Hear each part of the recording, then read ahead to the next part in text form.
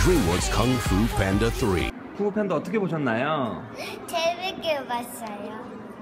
얼마나 재밌었어요? 많이 많이. 그때 조금 무서운 장면도 있었어요. 무서운 장면도 있었어요? 네. 음, 뭐가 제일 무서웠어요? 아, 코코팬더가 어, 막 액- 악당 대장이랑 싸우지. 아, 또 보고 싶어요? 네. 재밌어요. 자, 그럼 쿵푸 팬더 화이팅 한 번만 해줘요. 코코팬더 화이팅!